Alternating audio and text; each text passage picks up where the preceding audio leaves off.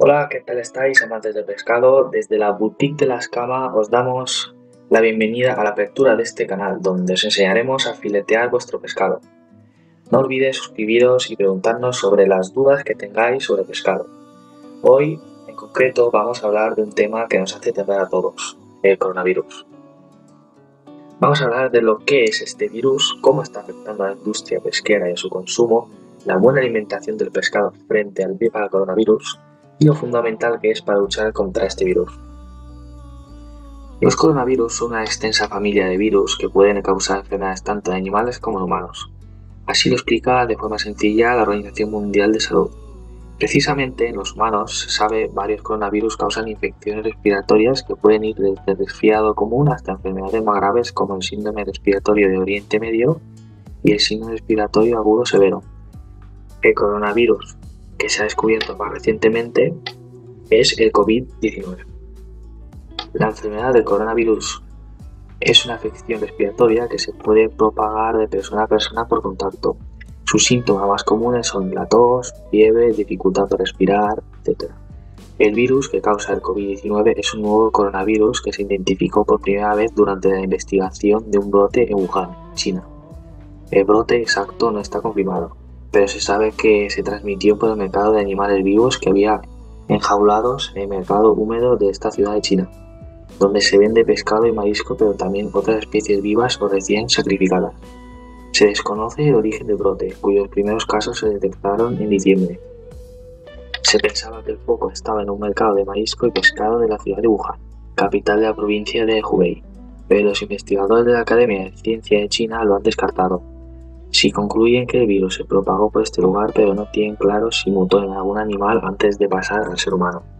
Como consecuencia del confinamiento impuesto por las autoridades para limitar la progresión de coronavirus, el consumo de pescado se está, está cayendo en picado en los países europeos, debido a que los restaurantes no abren, comedores escolares tampoco y se suman los mitos y la desinformación.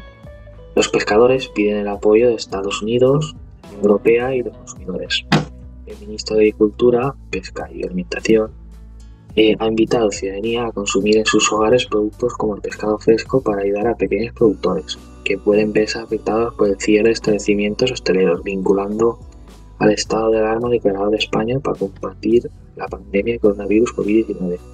Comprar pescado fresco no debe ser una preocupación ya que prácticas como toser encima de un alimento o cualquier otra falta de higiene están controladas dentro de la industria alimentaria. Además, ahora se están reforzando mucho más las medidas, haciendo más hincapié en la higiene y en algunas barreras físicas como guantes y mascarillas. Si compramos pescado fresco, no tenemos por qué preocuparnos siempre y cuando vayamos a cocinar correctamente el pescado. Como bien señala la OMS, cocinar cualquier alimento por encima de 55 grados centígrados desactivaría el virus. Tras ese calentamiento, cualquier supervivencia sería imposible.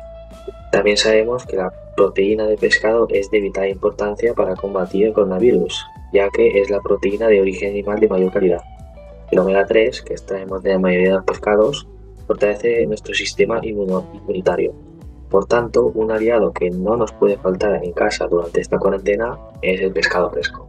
Los estudios que tenemos en la línea de prevenir o curar infecciones son poco concluyentes, pero sí debemos considerar una correcta alimentación que optimice nuestras defensas, tanto para evitar enfermedades como para ayudar a la recuperación. Por el contrario, una mala alimentación sí que puede hacer que la respuesta de nuestro organismo al COVID-19 no sea la apropiada. Para aquellos pacientes que se encuentran en estado grave, especialmente clave controlar la alimentación. Y esto es todo por hoy. Muchas gracias a todas aquellas personas que nos habéis escuchado y no olvidéis eh, darnos un like y nos veremos en el próximo vídeo. Un saludo.